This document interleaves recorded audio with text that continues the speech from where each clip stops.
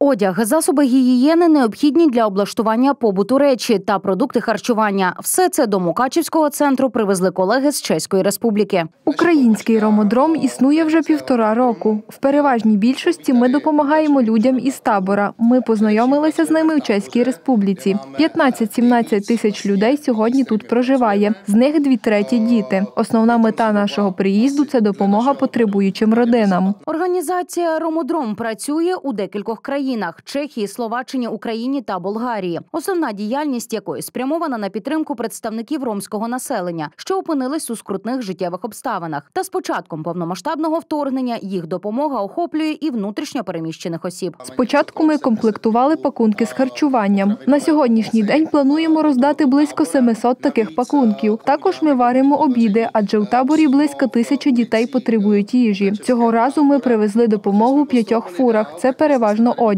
аби роми мали змогу одягнутися та обутися відповідно до сезону. У інтегрованому центрі Ромодром також надають освітні послуги для дітей ромського населення. Та як зазначають працівники, кожен охочий має можливість звернутися та отримати освітні послуги. Сьогоднішня акція не перша і не остання. Хочу в першу чергу подякувати всьому українському народові та пану Давиду, який є популярним співаком у Чехії. Наша основна мета допомогти дітям та всім тим, хто цього потребує. Аби отримати гуманітарку, потрібно прийти до центру. Ми нікого не розділяємо. Всі потребуючі без перешкод можуть прийти до нашого центру та отримати все необхідне.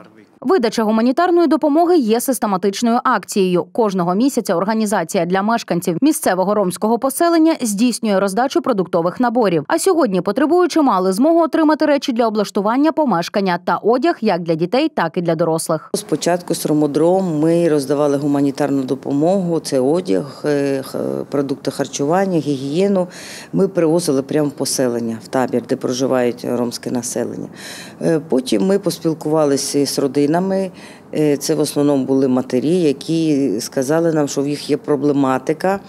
е, З дошкільною підготовкою. Тому ми з командою Ромодром е, зробили анкетування і вирішили, що потрібно відкрити такий інтеграційний центр для ромів, які проживають у Мукачево, і допомагати діткам отримувати освіту і долучатись до школи.